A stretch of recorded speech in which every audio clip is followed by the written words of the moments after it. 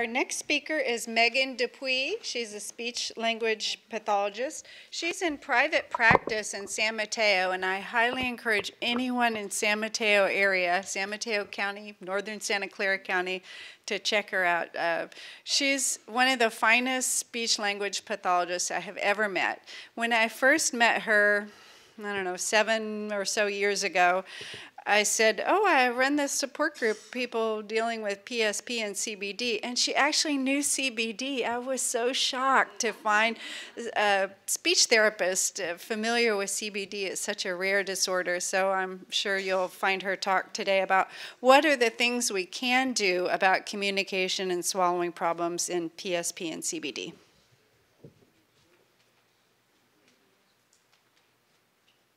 Robin's too sweet. Um, yes, I met Robin before I had my three children, and she has had many cancellations of my talks due to me having children. The last talk that I gave for this group, I had delivered. Sorry, I had actually delivered a week before, so I feel much better this time. My youngest is three. Um, so anyway, as Robin well knows, I've given a lot of these talks. I did, I was compliant and prepared the PowerPoint, and I heard that everybody has um, access to that PowerPoint, but I'm going to go off of the PowerPoint for much of my talk because as a clinician, I want you to really see and feel and understand, you know, the things that I am, uh, that I'm concerned with and speaking of. So, um, you know, why? why? Why do you need a speech therapist?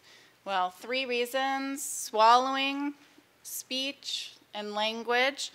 Um, Dr. Shaw did a great job with the language piece, which I'm, I'm you know, very grateful for because I didn't put any of that in my presentation. The reason I was familiar um, with this population is I did my thesis in college on primary progressive aphasia with Marsel Mesulam, who's in, at Northwestern.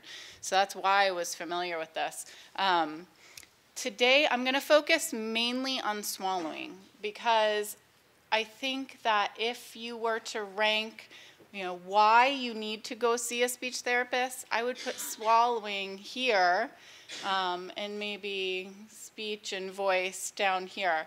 Now, speech and voice are very important, obviously, for communication with loved ones, communication in general, but swallowing is vital for your overall health. And so I want to talk about that today.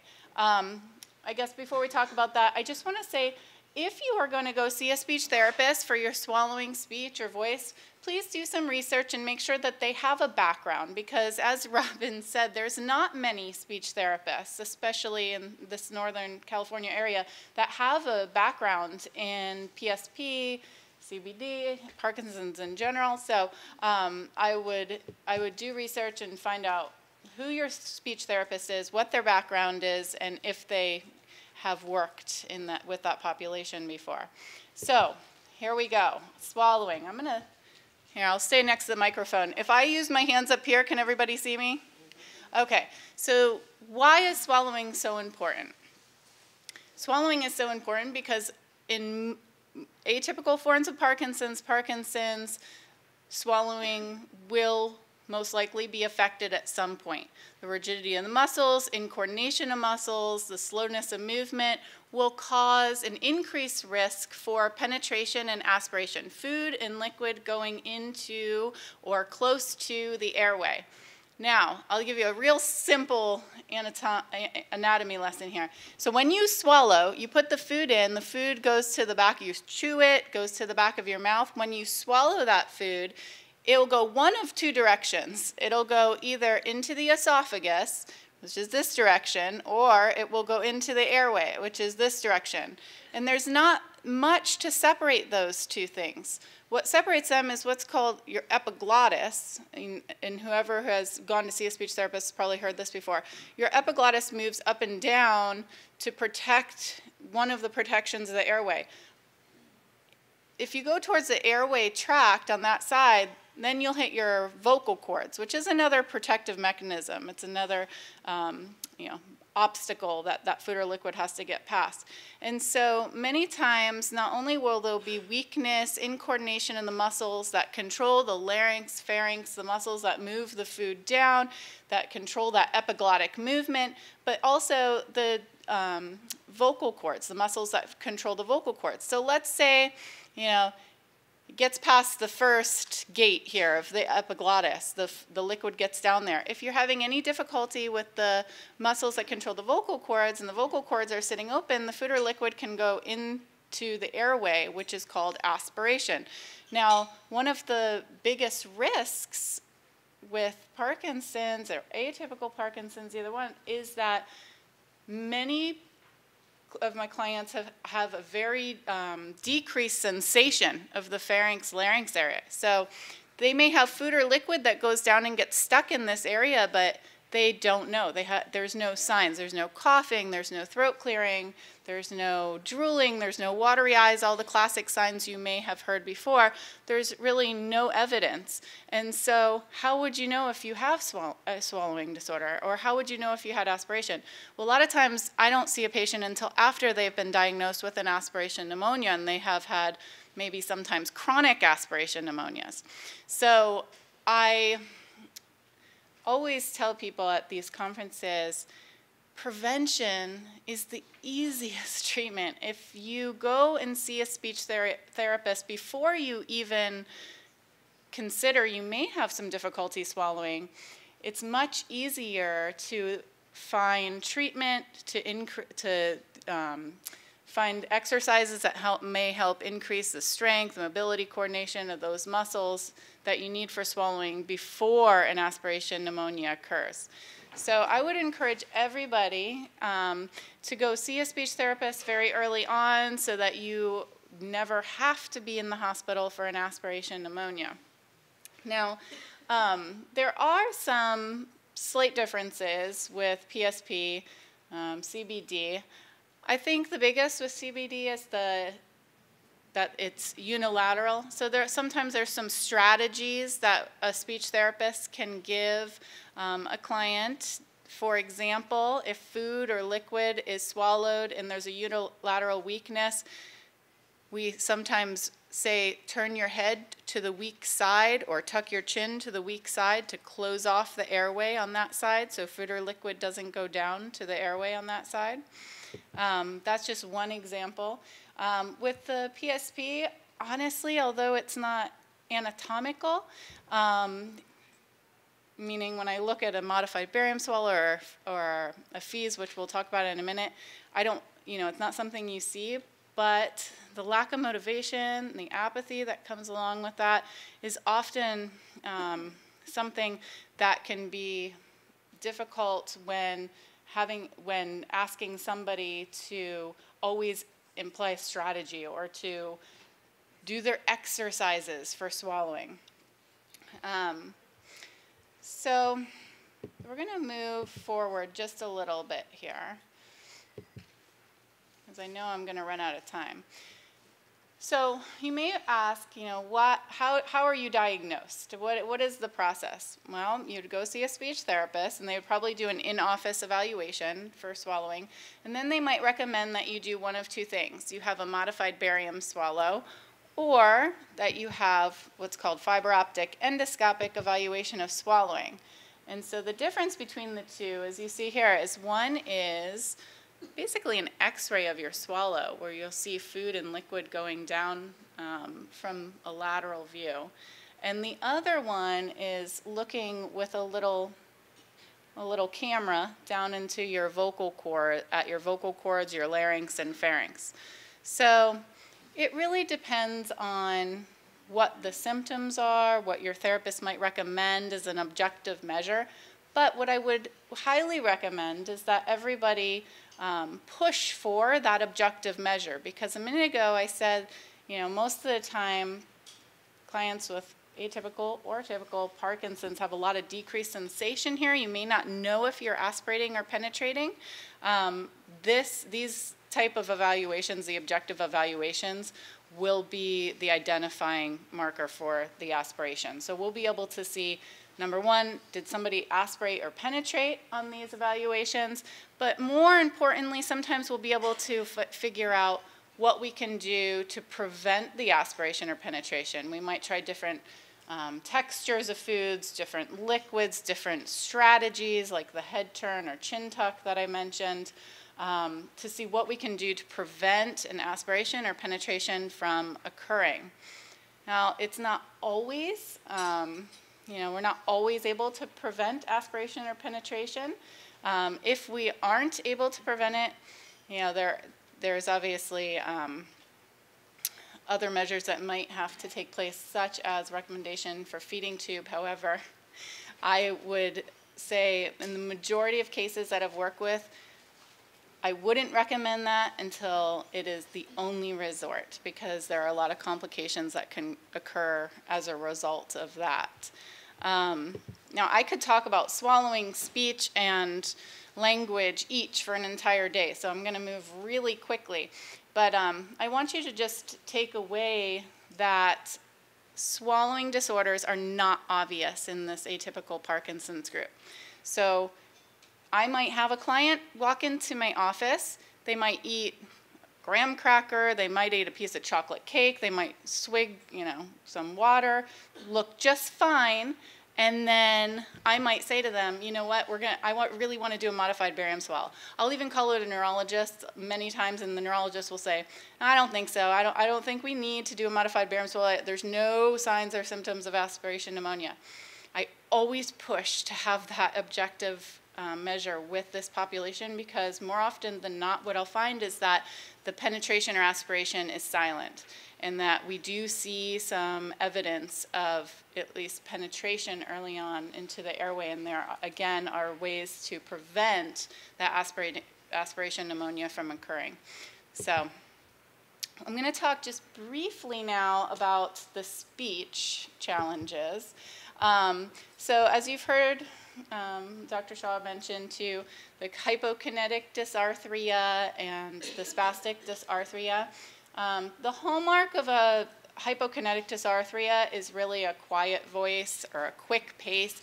I have a client I'm working with right now who, um, you know, when he comes in, he'll sound very much like this. Hello, but and I, and, and so he has both in a, a form of aphasia and he has difficulty with production of um, words and sequencing sounds. Um, a lot of times, too, due to incoordination of breath from the diaphragm.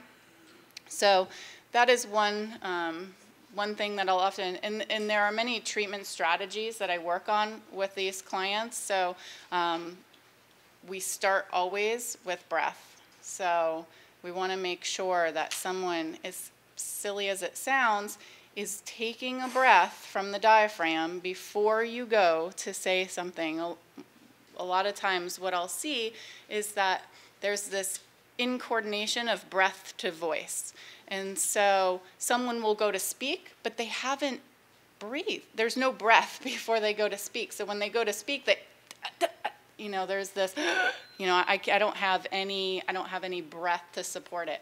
So that's one form. The other form of dysarthria is really that spastic dysarthria, and that's where you might hear these loud bursts and strained voice quality. So it'll be, you know, like this, and then that's. Um, there are also strategies we can work on with those clients to help reduce that spastic um, dysarthria quality to their voice. Um, now, as you well know, we're not able to reverse many times the either voice, speech, or swallowing.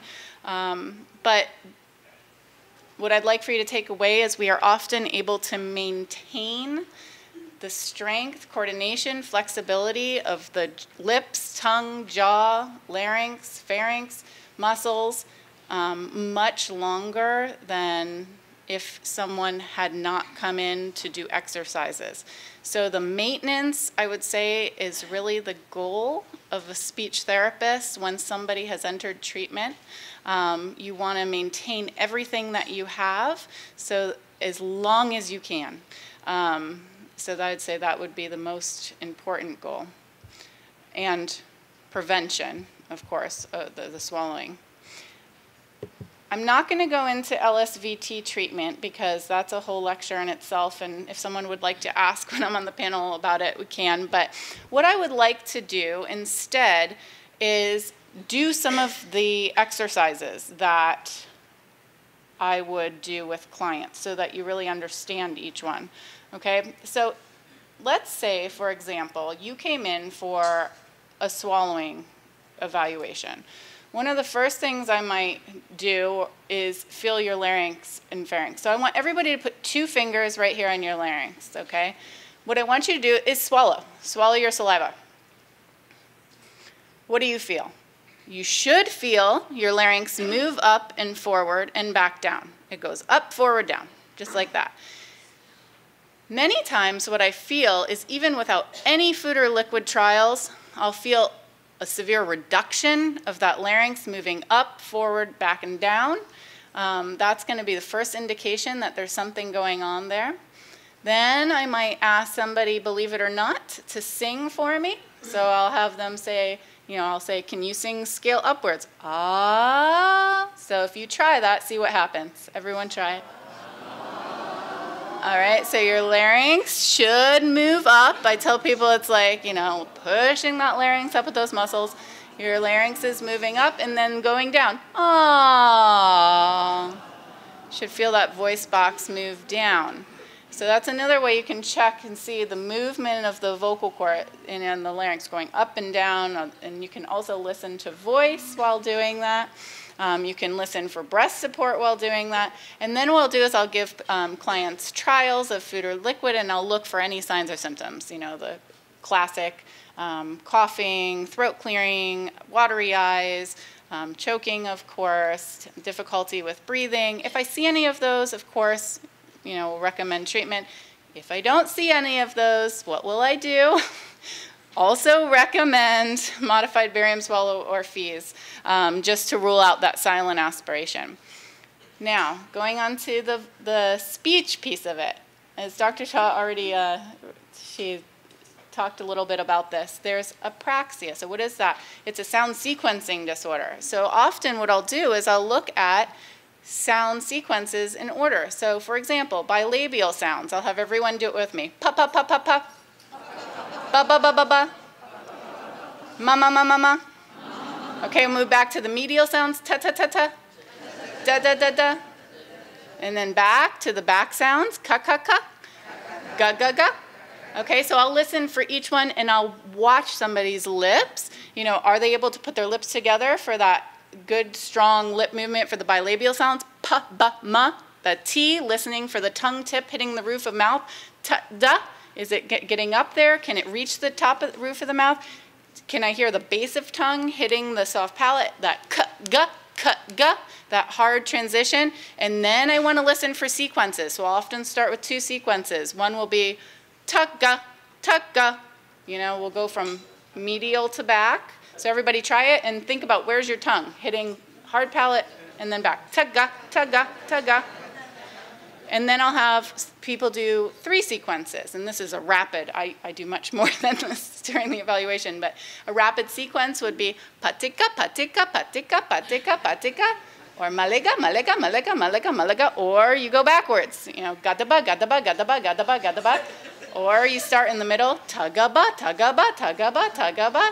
And I listen, is someone able to sequence their tongue from front, middle, back, front, middle, back? It doesn't have to be a real word, it just has to be sequencing. And so if I hear that somebody isn't able to sequence, that's a good indication that they are apraxic, so that sound sequencing disorder. And then, of course, the primary progressive aphasia. I will listen for the fluency of their speech. Are they dropping the grammatical markers? Again, as the doctor already um, explained, you know, is, is it just verbs and nouns that I'm hearing? Or do I hear those articles, prepositions that make um, speech nice and fluent. The other thing that I listen for is prosody. So, listening for that intonation in your voice. For example, if I, if I am asking a question, I'll say, Where are you going? It goes up at the end, right? But a lot of times, clients with atypical Parkinson's will have this very monotone voice quality. So they'll often omit those um, intonation patterns up and down. So you'll hear, Where is he going? What is he doing? Instead of, you know, where is he going? An up intonation or a falling intonation where you might say, he's going home. I don't um, and so often I'll give a client a phrase, the White House. Okay, can you change the stress on each word? The White House, the White House, the White House. Can you do that independently? Can you do it in longer phrases? Can you go up? Can you make it a question? The White House? Can you be upset about it? The White House? You know, I'll listen for those intonational patterns. Um, so, there are a lot of reasons to go see a speech therapist. Um, and so I, I would say, again, the most important is for the, the swallowing. Oh, the last thing I, I wanted to do before we, before I end is I wanted you to think about some of the exercises too that I would give a client. So for example, if I were to say, um, I want you to work on lip strength, tongue strength, laryngeal strength. I might do something like this and I'll have everybody participate because I know it's that after lunch dark in here. Wake up a little bit. Okay, so we're gonna do it together. Are you ready? Okay, stick your tongue straight out at me, up toward your nose, down towards your chin, back and forth. Good. Push on the side of your on your cheek. Knock knock. Other side. Okay, around in a circle. Okay, we need that for sweeping the oral cavity for food and liquid. If it gets stuck in there, it's going to be an aspiration risk, right? Okay, push the tongue tip to the roof of the mouth as hard as you can. You sh it should feel like it's going to fall off after. If, you if it doesn't, you're not doing it hard enough. Mm. Good. And I want to see, is there any muscle? You know, if, am I seeing any muscle de definition here? I'll often say to, to clients, we're going to do some work with cheeks, lips, jaw. So I'll say, smile really big let me see, can you do it each side independently? So this is where I might see some unilateral weakness with the CBD. So one side, other side, one side, other side. Or blow up the cheek on one side, other side. Back and forth. So is there coordination? Is there strength? Um, are you able to, to get the lip closure that you need for eating, for speaking, all of that? Um, that's just, you know, just a teaser about you know, some of the exercises you might do. Um, but there are a lot of exercises that you might do to help strengthen the tongue, lips, jaw, larynx. There's something called the Mendelsohn maneuver. For example, you pull that larynx up, so you're going to swallow halfway. So think, I'm going to swallow halfway, hold the larynx up at the height of the swallow, hold for two seconds. One, two, allow the larynx to drop back down. So you're going to go hold, hold, drop the larynx back down. What you're doing is I tell people, you know, when you do leg squats and you're trying to increase the strength of, of the thighs, you're trying to isolate those muscles, right? Same thing with your larynx. You're trying to isolate those muscles in the larynx at the height of the swallow to help strengthen the larynx so that you can maintain that strength and coordination for swallowing. All right, so I know I'm giving my five minutes. Again, I could, I could speak about each one of these things for an entire day, and I tried to make it as quick as possible, and I'll be happy to answer any questions afterwards um, that are specific, but those are just some reasons to come see a speech therapist. Again, I would encourage everybody to go see a speech therapist at some point to make sure that your swallowing is safe and you're able to maintain the strength as long as possible. All right? Thank you so much. Thanks for having me.